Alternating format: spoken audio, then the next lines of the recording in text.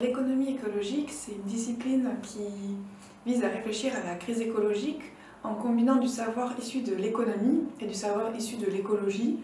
Et l'idée, c'est d'avoir une réflexion interdisciplinaire pour euh, pouvoir capturer la complexité de la question et, du monde dans lequel on vit.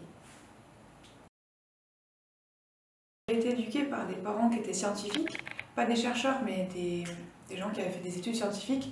Du coup, c'est un milieu que je connais depuis toujours et qui ne me fait pas peur. Donc c'est un peu difficile de définir euh, une première rencontre avec la science. Euh, j'en ai toujours entendu parler, mais euh, c'est vrai que du fait de n'avoir toujours entendu parler avec des mots d'enfant, je crois que j'associe encore aujourd'hui la science à, à, une énigme, à un terrain de jeu en fait sur lequel on peut s'amuser et on doit essayer de trouver la réponse à l'énigme.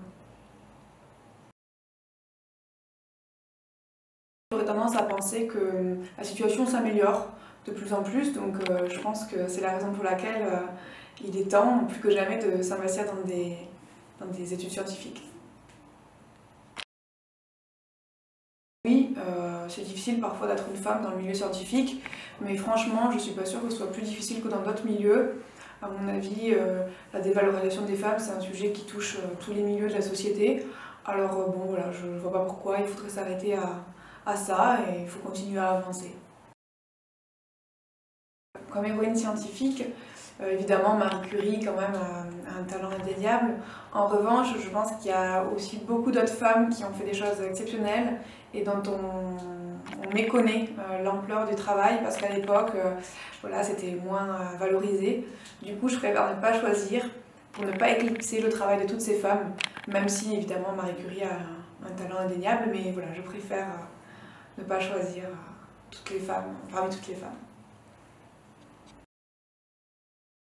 Parmi les travaux des dernières années, je pense que ceux qui portent sur le sida ou tous les travaux euh, sur des questions médicales, le cancer, Parkinson, sont évidemment euh, très, très marquants pour notre époque. Mais je dirais que pour moi, ce qui a le plus compté, c'est vraiment la, la, prise de conscience et tous les travaux qui sont en cours sur la crise écologique et du coup, c'est pas vraiment, quand on parlait, un travail, mais c'est plutôt euh, la somme de, milliers de petits travaux, euh, un travail de petites fourmis. Euh, voilà, c'est ça qui m'a le plus impressionné. Et finalement, je pense que c'est ça la science, un travail de petites fourmis.